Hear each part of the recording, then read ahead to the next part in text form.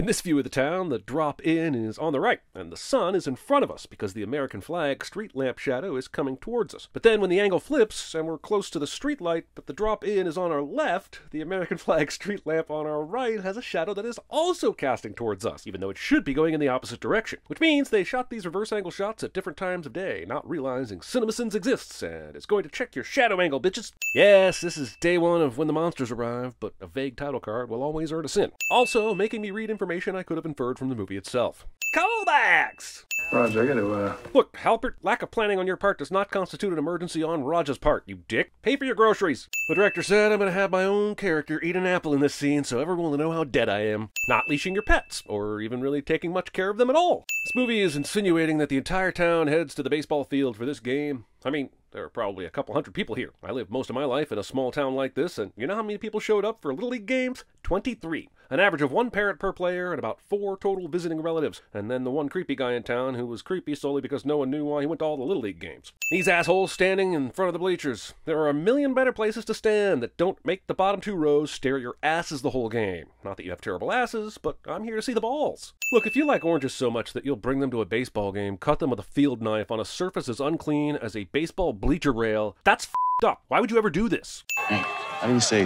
die? I've never seen a more obvious Chekhov's ASL lesson in my entire movie going life. Granted, it's the only Chekhov's ASL lesson I've ever seen, but that doesn't make it any less obvious. Context clues from the rest of the scene indicate that these are the outfielders. Are you telling me that they would play this far in for 12 and 13 year old hitters? I know this isn't the Little League World Series, but you basically got all nine players on the infield. You're turning a flyout into an inside the park home run, coach.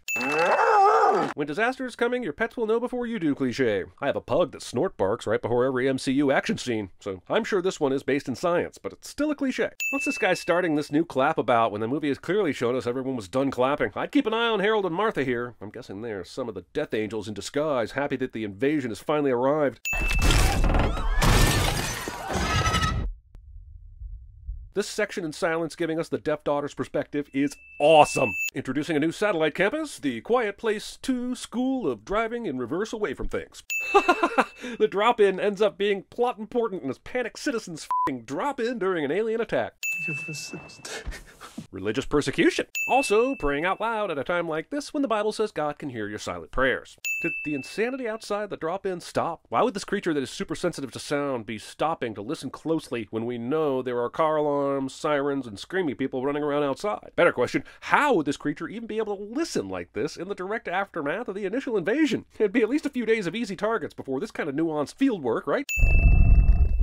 Jurassic Theft. Why is it still chasing these two when there were a couple dozen people inside that tavern? Does the creature know that these are the leads of the movie? I bet he's an Office fan. Creature definitely feels like an Office fan. Screw you if you wanted to know how they escaped this, though, am I right? She tells her two teenagers to wait here and then walks into the mysterious barn fire with her newborn baby in tow. She should have given the baby to the son and kept the fucking gun. And even though mom told both kids to stay here, one of them immediately goes back inside. Listen, let's just be real for a second. How much of this family's turmoil is caused by either bad parenting or incorrigible kids? Callbacks! Also, they still haven't removed that nail. Okay, maybe that makes noise and brings the baddies, but at least put a fing foam ball over it or a grapefruit. Somehow address this massive injury risk. And I don't think it would make any noise to move this claw off the steps. God damn. Okay, flooded waters are notorious for dangerous bacteria, and you are carrying a tiny baby. Aw, she has a special manger just for drowning.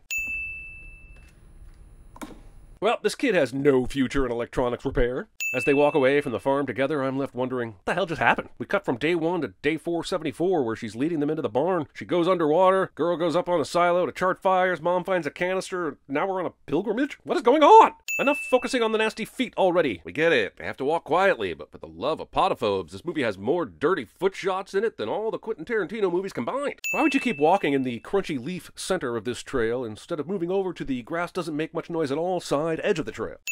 Run! Why? Running is almost always going to be noisier, and silence is your only ally. Even if a creature heard the cans, they still have to locate you, and running only gives them more of a chance to zone in on the commotion. Any injury or pain from here on out is just blunt force trauma. I'm not sure exactly how old Marcus is here, but he's at least been living for over a year where noise equals death, and no matter how much my foot hurts, I can comprehend that I still shouldn't scream years old. If this doesn't bring the aliens immediately, then I suggest there are no aliens around, and you can go back to whispering and sh- How do you just run through an abandoned metals factory on short notice without making noise? You made a noise going through a hole in the fence a few minutes ago.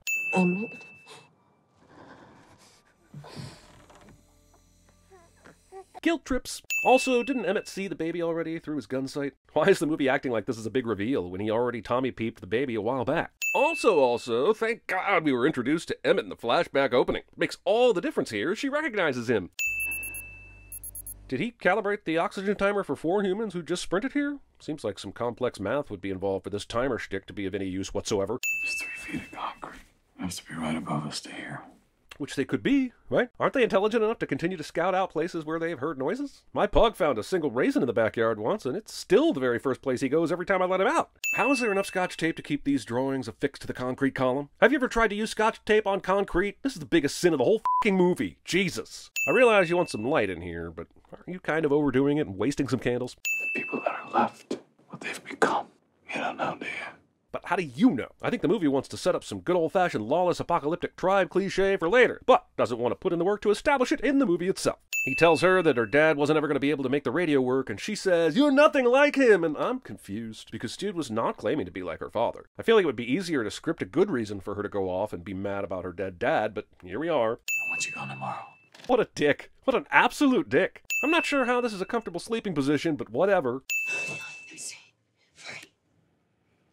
No, so. So no. I hate to be the pedantic asshole here, but it's actually both. Oh, and I lied about hating to be the pedantic asshole thing. I kind of enjoy it. Also, why isn't it an actual message instead of something you have to decode? It's not like the aliens can speak English and would find the island. I found it in my handy dandy radio station book that was conveniently one of the only things I brought. Here's a silent argument via sign language between a deaf character and her hearing brother. These movies have done a ton for deaf representation in film. Okay, I realize the older sister feels like she has sort of a Book of Eli quest kind of thing to fulfill, but she is deaf. In a world where killer aliens only attack based on sound, a deaf teen alone with a shotgun is looking at hours, not days, in terms of pure survival. Maybe I believe that this many high heeled wearing folks were waiting at this podunk station when all this went down, even though it appeared to be a weekend afternoon. But I will never believe that any of them left their phones behind. That's where the Crossy Road lives. See, opening a door that caused a noise, and she didn't hear it and doesn't know it. This is so much dangerous. But also, did she have to go into the train? Couldn't she have just walked around that? As she walks through this train, I'm stuck with the thought that this could be a video game, one that helps teach folks what it's like to be deaf. And it could be tweaked to speak to the blind as well. Hmm, I can't send a movie for these video game thoughts. So I guess I'll just. Ah, it, send the movie anyway. But also, this stepdaughter character deserves to be the main character in a Quiet Place video game if that ever happens. She's excellent. The sin here is because there isn't already a video game featuring her. Jump scarecrows. Another jump scare? Two in less than a minute? See, at this point, you're just the movie who cried jump scares. You're gonna end up training me not to believe the tension, and then when you really want to scare me, I'll be like, sorry, movie, guess the wolf is just gonna eat all the sheep because I'm out of scare. Look, I appreciate the idea that a sound frequency bothers the aliens, and the fact that it's the deaf girl's cochlear implant providing the feedback, chef's kiss. But this amp that she literally cut the power cord off of is doing nothing to amplify this. She's carrying around this fucking practice amp for no reason, because science says, with no exceptions, this amp needs power to actually amplify anything. And don't you give me any battery nonsense, we never see any batteries. This is a pretty glaring plot convenience hole, so I'm gonna double up the sins on this bitch. Great, Cillian Murphy killed the thing just before it killed the girl. But how did he shoot the thing without any shrapnel hitting the girl who was directly behind the target? The fact that this movie has the balls to continue to have entirely silent, plot important arguments gives me joy as a deaf person. Here, the deaf character is patient at teaching the hearing character how to enunciate so she can read his lips. Yeah, yeah, it frustrates the haters when our real opinions infiltrate our sins videos right alongside our usual obvious nitpicking, but guess what? I do not care. So let's remove a sin here for the representation and then add 20 sins for the dickheads who want to tell me how to do my videos. We're going to find out here in a second that he just stepped out to find a boat, but you couldn't leave a note? What? Couldn't find any paper or writing utensils in an abandoned office? Also, are we supposed to believe he truly left her? What in this movie has given us any indication that we should feel worried in this moment? So she's alone with a newborn and a laid up wounded teenager, so she is headed out to do what exactly? She implies she's after medicine for her son, but this still feels like a stupid decision. This is a conversation that probably should have and would have happened before she left, but I guess the movie really wanted us to know what an idiot Marcus is.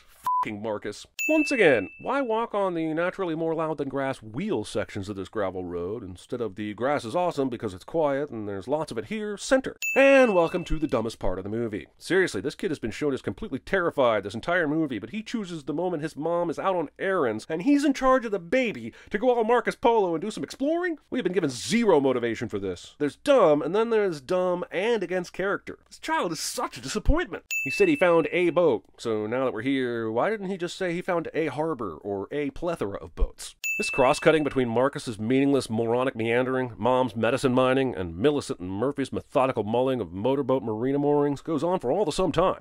Also, because one of these things is completely pointless, the tension fizzles every time we cut to it. Hint, it's fing Marcus. He seems super worried an alien might be on this boat, but that doesn't make any sense. This boat wouldn't have made any noise to attract the alien. There might have been humans aboard it that it heard and then ate, but why would it stay here after that? Okay, but nooses loosen, right? It's just a slip knot that, in hangings, is held tight by the weight of the body. Why can't he just take it off immediately? Also, kids. I guess they were like, we need the kid to get attacked by aliens. How can we do that? I know, he goes exploring on his wounded leg, leaving the baby alone. He gets jump scared by a really dead body. Brilliant! Yep, because he was hurrying and lazy, he forgot to use the lock blocking frock of a towel dangle, and he's now trapped inside. And let's be honest, it's not like this kid's dominant trait is intelligence. This is how you raise a gun if what's important is how badass and dramatic you look while doing it. It's not how you raise a gun to shoot when what's important is time and saving your children's lives.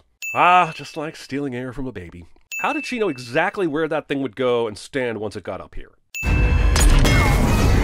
Oxygen tanks did not explode. Oxygen can feed fire but is non combustible, unless she was lugging around propane tanks for her baby to breathe, in which case, probably still a sin. I see the Quiet Place aliens have the same weakness as the aliens from Signs. Just once, I want to see a movie where the aliens are allergic to mustard or soap.